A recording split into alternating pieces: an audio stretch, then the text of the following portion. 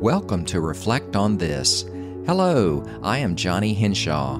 This is the podcast version of devotionals I send to my family and friends. In these devotionals, I share the things I'm learning about the ways and nature of God through applying my study of the Scriptures to the world around me. And don't forget to keep listening at the conclusion of today's episode to hear about my recommended resources such as podcasts that I find helpful and encouraging, books that inspired some of these episodes, and ministries that I want you to know about. So let's get started. Please join me today as we reflect on this.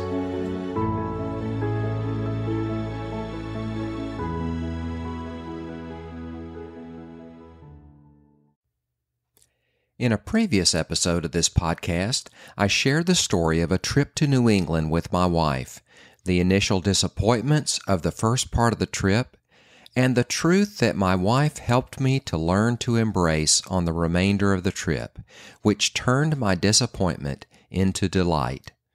Well, this seems fine and good for dealing with turning everyday disappointments into delight, but what about the serious challenges of life that bring genuine despair? Two men of the Bible are good examples of how to apply these principles even when in the midst of despair. Abraham is our first example. God spoke to him, promising him a son through whom many, many people would be blessed. Then he had to wait 25 years for the fulfillment of that promise, the birth of Isaac a very long wait. Then he had to experience the death of that vision, God telling him to sacrifice Isaac. In his obedience, he saw God's supernatural fulfillment of the promise again in the provision of a substitute sacrifice. Through all of this, Abraham stayed the course. He trusted God. He focused on the blessings received, the birth of Isaac, the time he had been able to spend with Isaac as a child, etc., instead of focusing on the agony of the impending sacrifice of Isaac.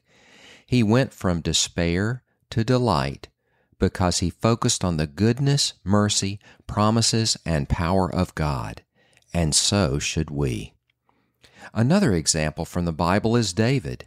Before he was king of Israel, he experienced the despair of having to flee for his life from the men of King Saul.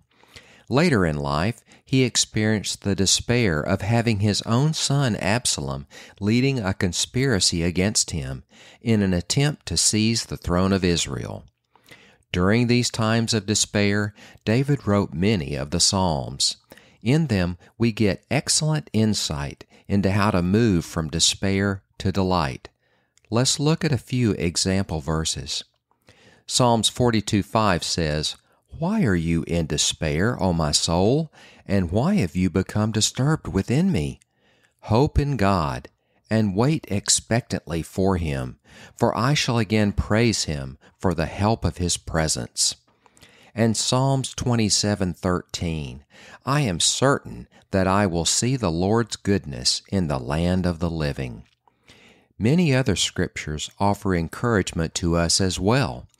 Isaiah 41:10 Do not fear, for I am with you. Do not be afraid, for I am your God. I will strengthen you. I will help you. I will hold on to you with my righteous right hand. And Hebrews 12, 1 through 2. Let us run with endurance the race that is set before us, fixing our eyes on Jesus, the author and perfecter of faith. So, what should we do when we are in despair? Number one, run to the Father. Spend time in His presence. This is the source of joy and rest. Psalm 16:11 says, "You make known to me the path of life. In your presence there is fullness of joy. At your right hand are pleasures forevermore." And Exodus 33:14 says, and he said, My presence will go with you, and I will give you rest. Number two, one powerful way of entering into the presence of God is to read and meditate upon Scripture. Let the words of the Bible be like food for your soul.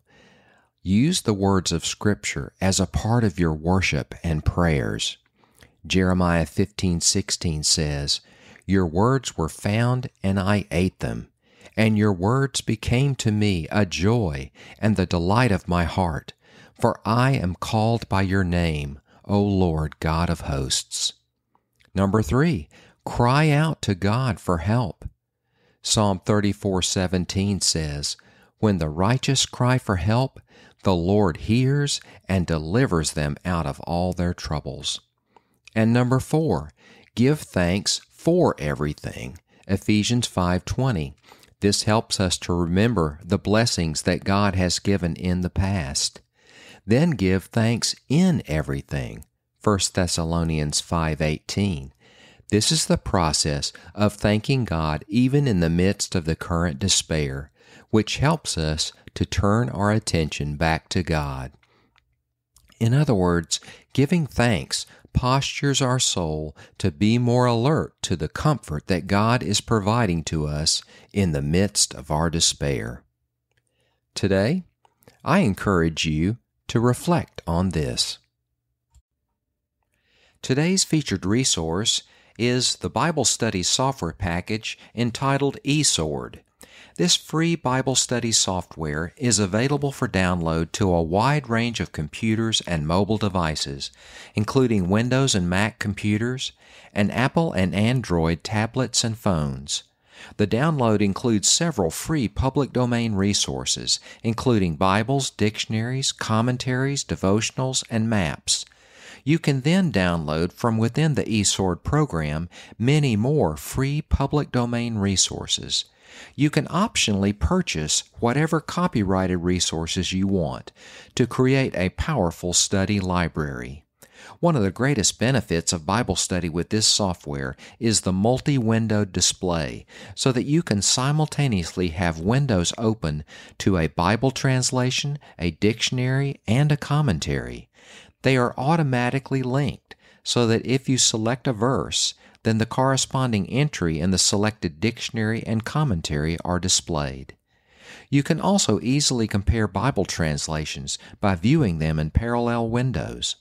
For the Bible translations that have embedded Strong's numbers, referencing the corresponding Hebrew or Greek word, you can hover over a Strong's number and a tooltip pops up with the Strong's definition for that word. To learn more and to get a free download of this amazing study tool, on your computer go to esword.net. That's e-sword.net. On your mobile device, go to your App Store and search for e-sword. That's e-sword.